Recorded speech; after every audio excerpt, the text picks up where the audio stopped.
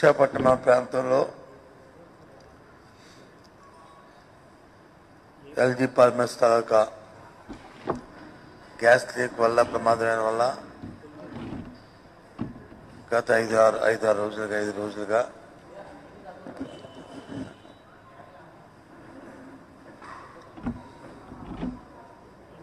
కరోనాతో పాటు దీని మీద కూడా పోరాటం చేస్తున్నాం.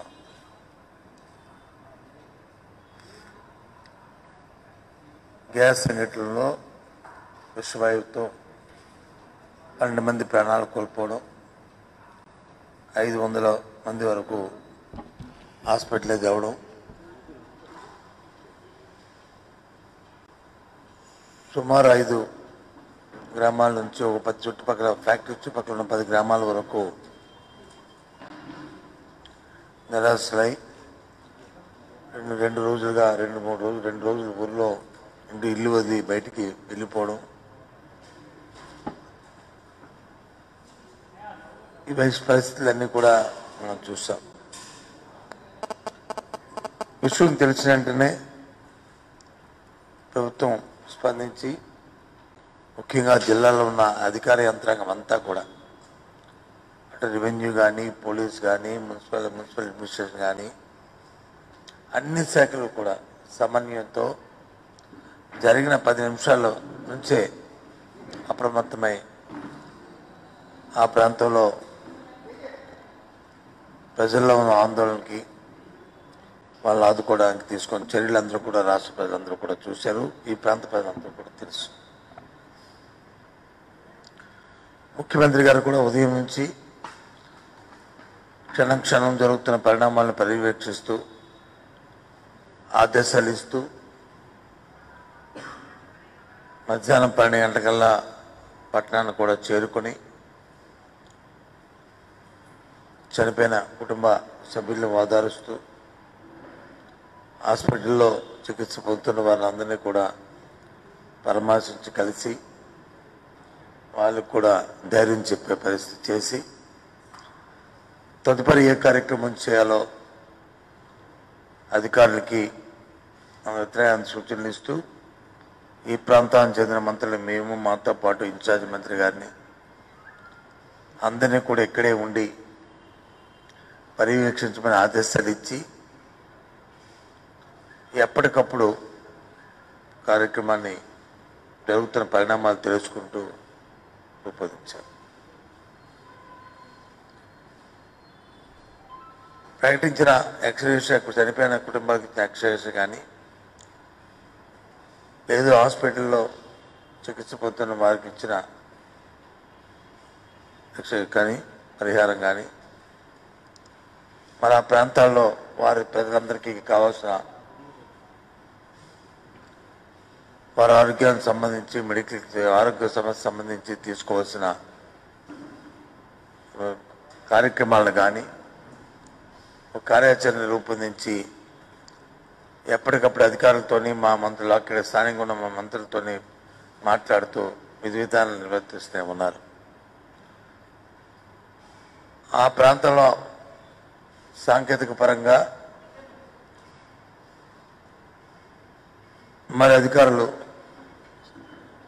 చెప్పిన సూచన మేరకు రెండు రోజుల తర్వాత ప్రజలందరినీ కూడా ఆ ప్రాంతానికి తీసుకుపోయి అక్కడ ఏ విధమైన ఇబ్బంది లేదని చెప్పని నిర్ధారించిన తర్వాత ఏదైతే గ్యాస్ తీవ్రతల వల్ల విషవాయువు తీవ్రత వల్ల ఇబ్బందులు ఉన్నాయో అవన్నీ నార్మల్సీకి వచ్చాయి.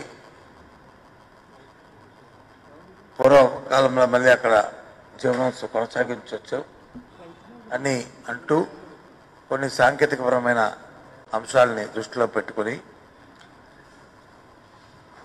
ఆ అధికారులు ఇచ్చిన సూచనల మేరకు ఆ ప్రాంత ప్రజలకు కూడా అప్రమత్తం చేసి అక్కడే వారందరికీ కూడా భోజనం ఏర్పాటు చేయడమే కాకుండా ఒక రాత్రి వారికి ధైర్యం చెప్పడానికి మంత్రులందరూ కూడా అక్కడే మేము అందరం కూడా వారితో కలిపి బస్ చేసి ఉదయం అందరితో కలిసి గ్రామస్తులందరితో కలిసి మెలిసి తిరిగి ఒక నార్మల్సీని ఏర్పాటు చేస్తాం అక్కడ. సాధారణ పరిస్థితి నెలకొల్పాం.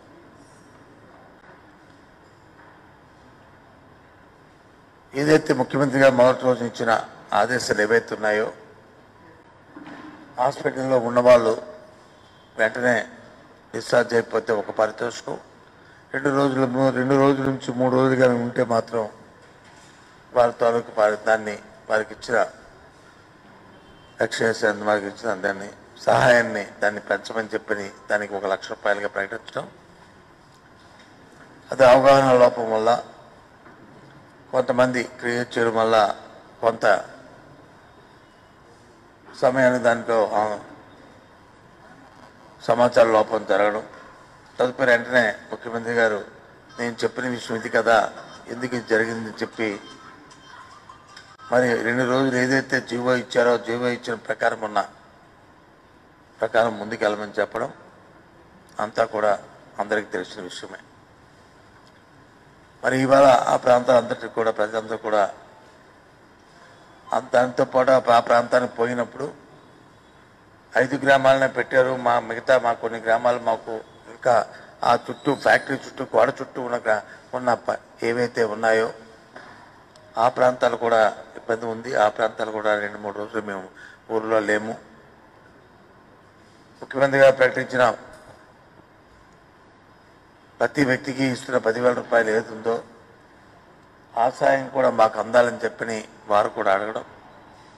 వాటిని అన్నింటి కూడా పరిశీలిస్తామని చెప్పడంతో పాటు ముఖ్యమంత్రి గారి దృష్టికి తీసుకెళ్ళడం వారు వచ్చి ఏది వాస్తవమైతే ఆ కార్యక్రమం అంతా చేయండి. ఒక ఒకరా ఇద్దరా ఐదు వేల మంది రెండు వెయ్యి రెండు వేల అనేది ఇక్కడ సంఖ్య కాదు. వాస్తవంగా ఇబ్బంది పడిన ప్రతి ఒక్కరిని కూడా ఆదుకోండి అని చెప్పిన ముఖ్యమంత్రి గారు ఆదేశాలు ఇవ్వడం. తదుపరి వాటికి కూడా సాంకేతిక పరంగా మన వాటిని కూడా పరిశీలించు పరిశీలిస్తున్న నేపథ్యం. రేపటితో ఎన్యూమినేషన్ పూర్తవుతుంది. ఐదు గ్రామాలతో పాటు ఇంకే గ్రామాలు కలుపుతున్నామో? అవన్నీ కూడా పూర్తవుతాయి. వాటిని కూడా మన ఇన్ఛార్జ్ మంత్రి గారు మరి స్థానిక మంత్రులు అందరూ కలిసి నిర్ణయం చేసిన తర్వాత అధికారులు దాన్ని కూడా ప్రకటించడం జరుగుతుంది. వాళ్ళందరికీ రేపటి లోపల రేపు సాయంత్రం ఎల్లుండి లోపల వాళ్ళందరికీ డబ్బుని మళ్ళీ ముఖ్యమంత్రి గారి చేతి మీదుగా అవన్నీ అందించడం అనేది జరుగుతుందనే విషయం కూడా మరి తెలియజేస్తున్నాం. అంతవరకు కూడా ఆ ప్రాంతంలో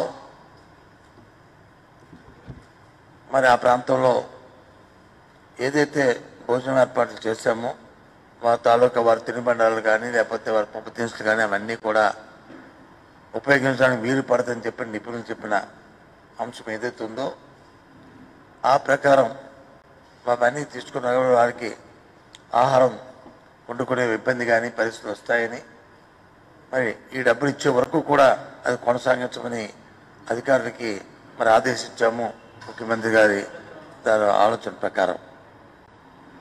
అలా ఆ ప్రకారమే ఇంకా అక్కడ మరి శిబిరాలు భోజన శిబిరాలు కొనసాగుతున్నాయి.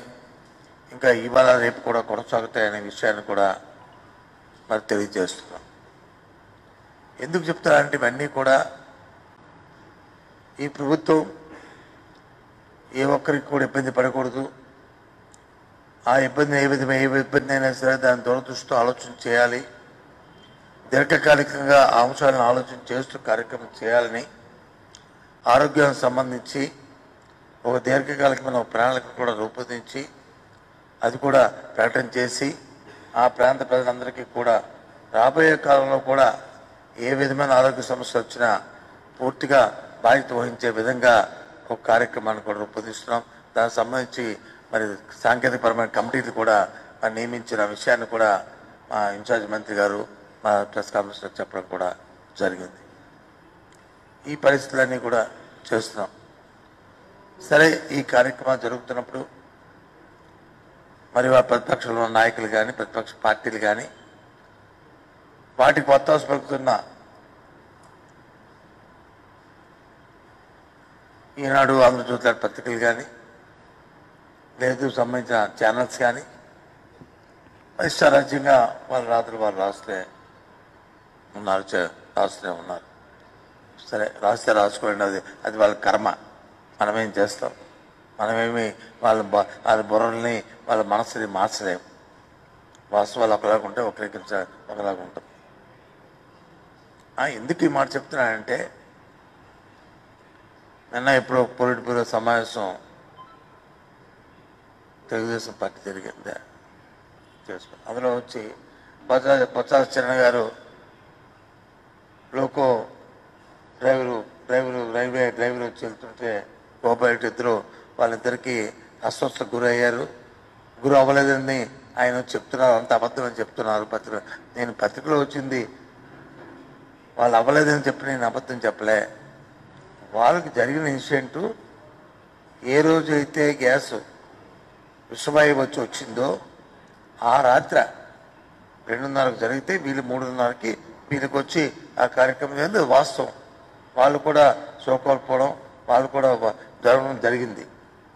కానీ ఈనాడు పత్రికలో వచ్చింది ఏంటంటే అది లక్ష్మీవారం నాడు తెల్లవారు శుక్రవారం తెల్లవారితే శుక్రవారం అనగా అది వస్తే ఈనాడు పత్రికలో శనివారం నాడు జరిగిందని ఆదివారం పత్రికలో రాశారు. నేను చెప్పింది అది. అంటే రెండు రోజుల తర్వాత కూడా ఇంకా ఈ వాయువు విషవాయువులు ఉన్నాయి ఈ ప్రాంతంలో రైల్వేలు తిరగట్లేదు అందరూ కూడా ఆందోళన చెందుతున్నారు అని ప్రజల నుంచి వక్రీకరించి భయభ్రా భయభ్రాంతులు చేస్తుంది ఇది తప్పుడు రిపోర్టింగ్ చేస్తున్నారు విషయాన్ని నేను చెప్పాను. అది చంద్రబాబు నాయుడు గారు పాపం వాళ్ళకి అది ఆలోచన ఆలోచన శుద్ధాబద్ధం శుద్ధాబద్ధం శుద్ధాబద్ధం అనే చెప్పారు. వర్డ్ కూడా వాడేది అదే. ఎందుకు వాడేదంటే అది ఇది సమయం అది కాదు. సమయం రెండు రోజుల తర్వాత అని చెప్తున్నారు. కాదు రెండు రోజుల ముందు జరిగింది ఇన్సిడెంట్ అని చెప్పారు. ఈ- రకంగా. అక్కడ వచ్చి ఒక అంశం జరిగితే ఇంకో అంశాన్ని వచ్చి కదిలికించడం సరే ఏదైనప్పటికీ కూడా ఎవరైతే గ్యాస్ వల్ల ఈ విశ్వాయు వల్ల వచ్చి ఇబ్బంది పడ్డారో ఆ ప్రాంత ప్రజలందరికీ తెలుసు వాస్తవాలు తెలుసు. విశాఖపట్నం ప్రజలందరికీ కూడా తెలుసు ప్రభుత్వం ఎంత అప్రమత్తంగా ఎంత తొందరగా రియాక్ట్ అయిందో ఏ రకంగా ప్రాణ నష్టం జరగకుండా జరగకుండా ఇబ్బంది పడుతున్న చద వాళ్ళందరినీ హాస్పిటలైజ్ చేయడం అందరినీ ఏ విధంగా ఆదుకుందో ఏ రకంగా యంత్రాంగం అంతా కూడా మరి అప్రమత్తం చేసి మా కార్యక్రమాల్లో చూశారు. ఆ తర్వాత జరిగే కార్యక్రమాలను కూడా అన్నింటినీ కూడా ప్రభుత్వం అంతా సున్నితంగా అంశాలన్నీ పరిశీలిస్తూ ఎక్కడెక్కడ రిజర్వ్ చేసుకొచ్చిందో. ఒకే మాట చెప్పారు ముఖ్యమంత్రి గారు. ఏదైతే అక్కడ స్టేరింగ్ ఇస్తుందో అది ఒక్క టన్ను కూడా ఉండడానికి వీల్లేదు అని చెప్పి చెప్పారు. ఫ్యాక్టరీలో ఉన్నది కానీ పోర్ట్లో ఉన్నది కానీ. ఎక్కడున్నారో వాళ్ళు అందరూ ఆ మే- మేనేజ్మెంట్ ఎక్కడుందో పిలవండి అని చెప్పి పిలిపించారు. పిలిపిస్తే వక్ర భాష ఆయన ఫ్లైట్ దిగంటే వాళ్ళతో మాట్లాడారు. ఫ్లైట్ దిగంటే వాళ్ళతో మాట్లాడి ఇక్కడికి వచ్చారు. ఎంతమంది మీ అందరూ ఉంటుండగా మీ ముందునే జరిగిన విషయాన్ని అంత తప్పుగా నాయకులు మాట్లాడడం ఆ నాయకులను వచ్చి మళ్ళీ ఈ ఈ టీవీలో వచ్చి వాటిని వచ్చి ప్రజెంట్ చేయడం అనేది కొద్దిగా బాధ అనిపిస్తుంది. మమ్మల్ని పొగడక్కర్లేదు మేమేమి బ్రహ్మాండంగా చేసామని మీ టీవీ చెప్పక చెప్పవలసిన మాకులే కానీ వాస్తవాలు చెప్పుకోవాలి. ఇవాళ తెలుగుదేశం పార్టీ ఏమైపోయిందంటే పది ఈ రాష్ట్ర ప్రతిపక్ష పార్టీ కాదు ఇప్పుడు. ఒక జూమ్ పార్టీ అయిపోయింది ఇప్పుడు. ఈ వీడియోపై మీ విలువైన కామెంట్స్ని మాతో షేర్ చేసుకోండి. అండ్ ఇంకో విషయం సబ్స్క్రైబ్ చేయడం మర్చిపోకండి.